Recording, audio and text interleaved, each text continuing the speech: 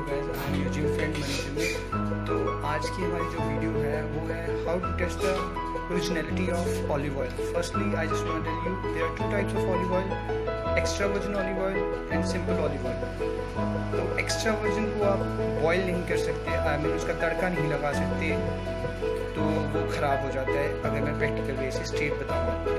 उसको आप simply dressing के ऊपर यूज़ कर सकते हैं, एक स्पून पूरे दिन में।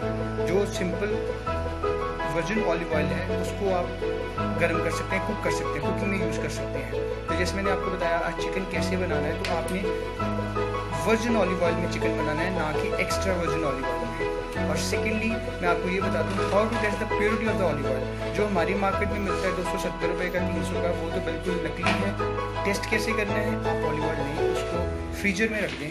अगर तो वो जम जाए दैट इज़ वो प्योर नहीं है। अगर वो ना जमे लिक्विड फॉर्म में रहे that is the best and the original olive oil so every time you have to check it out before using that because olive oil good fat का एक अच्छा सोर्स है तो अगर आप उसमें ये प्योरिटी का ध्यान में नहीं रखेंगे तो वो आपका फैट बर्न करने प्योर मसल मास डेफिनेशन लाने की बजाय आपको गलत रिजल्ट्स देगा, आपकी हेल्थ के लिए अच्छा नहीं है। So I hope you understand thank you very much guys thank you